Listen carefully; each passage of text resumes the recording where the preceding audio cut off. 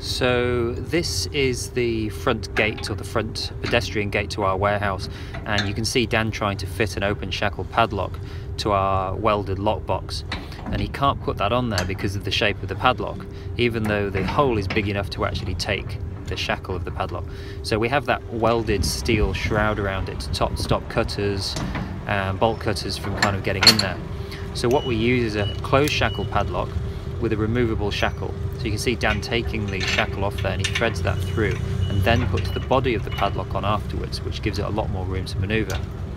So once it's actually on there, it's there's very little access to get in there.